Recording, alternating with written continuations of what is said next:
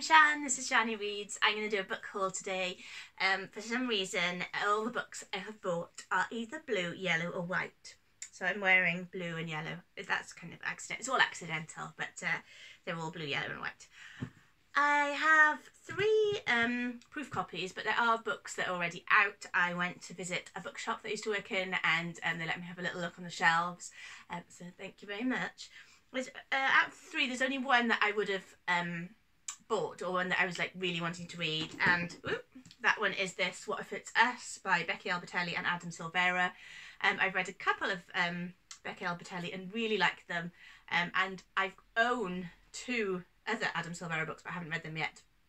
Although Bert read um, uh, one, but they both died at the end quite recently and liked it.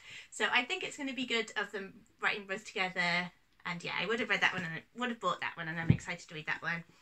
This is um, Jeffrey Eugenides short stories, and it's actually one that's been out for quite. A, I think it's been out for a year, but it was still on the uh, proof shelf. Um, and I really like Jeffrey Eugenides. I really enjoyed Virgin Suicides when I read it. Um, I loved Marriage Plot, even though I know lots of people didn't like it. Um, and then the Virgin Suicide, I mean the Middlesex, I never finished, but not because I wasn't liking it. I think it was quite big and dense, and I just probably wandered off into something else. So yeah, I mean, while I'm not a big short story reader, I think that I like him enough as a writer that it might kind of get me to read them. And then um, the other one I got was this one, which is Small Fry, a Memoir by Lisa Brennan Jobs. And this came out in September. And it's on the um, Goodreads Best of the Year. So I know that it's had lots of um, positive reviews. And it's the memoir of uh, her father, Steve Jobs. So it's sort of talking about their relationship. And I think they had quite a um, tricky relationship. Um, so it does look, I think I'll enjoy this one because I do like memoir as well. Then I bought, I've mentioned I wanted to buy it, so it's the Karl Ove Knausgaard Inadvertent, which is in the Why I Write series, and it's quite a tiny book, so it's not going to take very long to read, and also the font is quite big. So I've got a feeling that um, Karl didn't have a lot to say here, but uh, so how many pages is it? 92 pages, and they're quite small and big font. Um, I got the other Why I Write um, by Patti Smith, which is called Devotion. And this one um, has, actually only has about 90 odd pages as well, but the font is kind of bigger. I did sort of talk about this before this Patti Smith one, and and um, it, I didn't love it in the same way that I loved Just Kids and M Train. Um, Just Kids is one of my most favourite books anyway. Um, yeah, so it's still good, but it wasn't kind of wasn't in the same league as the other one. So I'm not sure how um, this Karl one is going to compare as well. But I wonder if kind of by their nature that they end up being quite slight anyway because they are quite short. I think they're probably, I don't know, it says it's based on lectures as well. But I don't know. So that's that one anyway. Um, and I was also talking last week about how I was reading Drive Your Plough Over the Bones of the Dead by Olga Tokarczuk. And I will talk about this more when I kind of wrap up some books uh, maybe next week because I was super duper in love with this book so much so that I went and bought Flights by her. But I will say though that um, by the end I wasn't as in love with it. I didn't really like where it went towards the end. Not a specific ending to it, but yeah, I I was disappointed in in where it went. Um, so it kind of, whereas I thought it was going to be one of my favourite books of the year, now it perhaps isn't. But the voice, the narrative voice, is so amazing. Um, I will talk about it a bit more at another point. But her writing was so great that I would just read anything that she's written. And this one looks um, a little bit different. It's it is a novel, but I think it's kind of a little bit. I've heard people say it's a bit like Maggie Nelson's Bluet, so I don't know if it's like little kind of episodic bits. It looks like it might be, um, but it does look really interesting.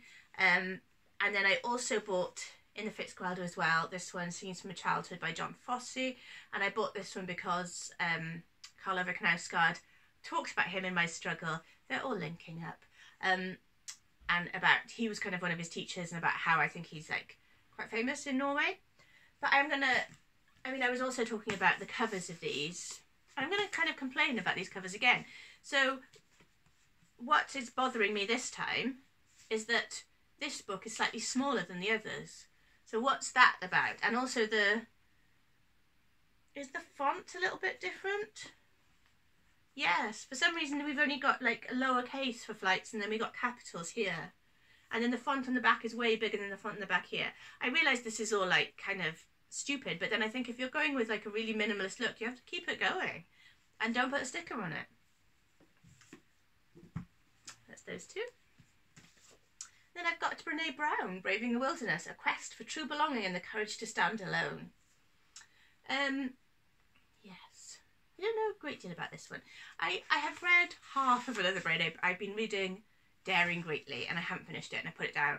I'll probably have to start from the beginning again.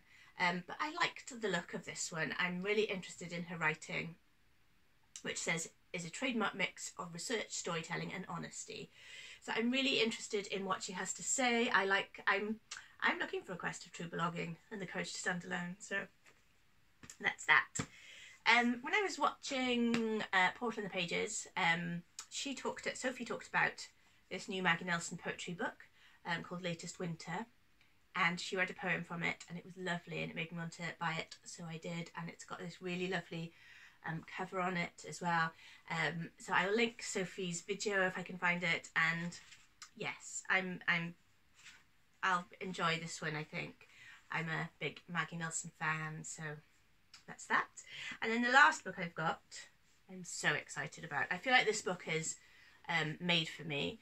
Um, I also wouldn't have known about it, though we were doing, me and Bert were doing the um, voting on your Goodreads Book of the Year, and this came up in the kind of food writing section, and it is Hippie Food by Jonathan Kauffman. How Back to the Landers, Long Hairs and Revolutionaries Changed the Way We Eat.